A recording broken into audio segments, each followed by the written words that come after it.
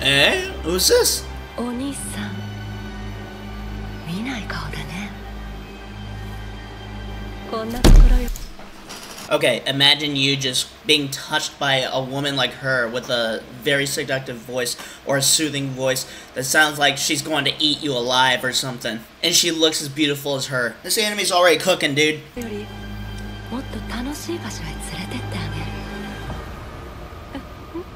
That's already bad news. I can give you an example of what sounds and feels similar to this chick right here. I'll show you the less scarier version of it.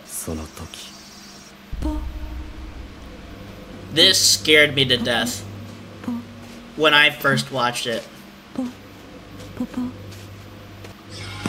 Oh god. Like, if you even encountered her and made eye contact, she's coming after you. But she goes after children. That's the thing. She goes after young children. This scene right here, and listening to her voice acting, makes her seem like that one urban legend.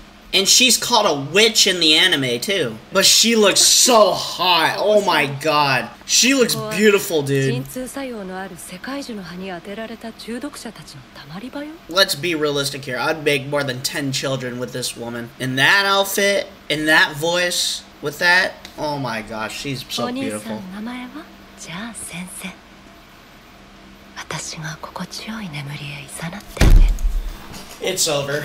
It's over. And this is her dance. Like, imagine seeing this chick dance for you like that. You would want to do some breedable things with her. Oh my god. The budget just went into this dance the entire episode. She is so beautiful, dude.